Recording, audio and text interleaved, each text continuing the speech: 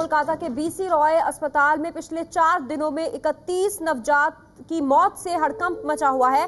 राज्य सरकार के स्वास्थ्य विभाग ने दो सदस्यों की जाँच कमेटी बनाई है। एबीपी न्यूज़ संवाददाता प्रकाश सिन्हा जुड़ गए हैं कोलकाता से। प्रकाश, क्या हो रहा है? बंगाल में इससे पहले भी इस तरह की खबरें आई हैं और इकतीस नवजात की मौत।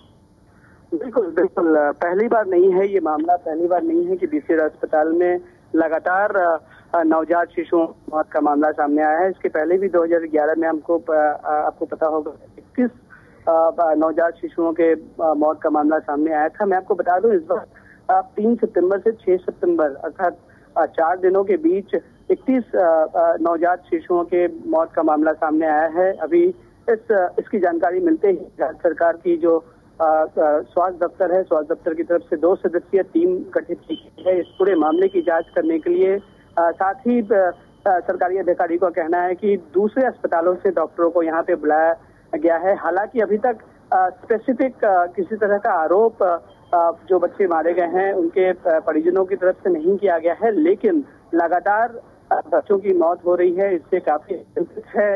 राज्य प्रशासन स्वास्थ्य दफ्तर के अधिकारी चिंतित हैं। इसलिए उनका कहना है कि दो सदस्यीय टीम बनाई गई है और जल्द ही एक रिपोर्ट देने को कहा गया है। हालाँकि प्रकाश इसी तरीके से पहले भी हुआ था जाँच कमेटी बनती है रिपोर्ट आती है लेकिन उसके बाद फिर से इस तरह की घटना हुई। इस घटना से बचने की ज़रूरत है लेकिन बचा नहीं जाता है। कोलकाता के बीसी रॉय अस्पताल का हाल हम आपको बता रहे हैं।